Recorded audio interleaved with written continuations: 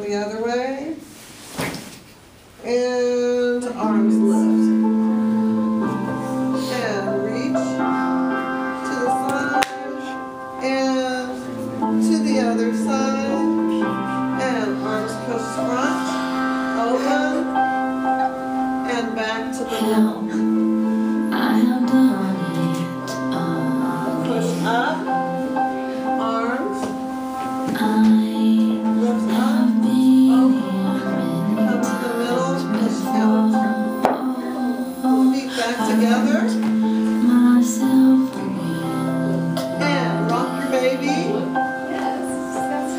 rock your baby to the right. The worst part. Flex your foot back.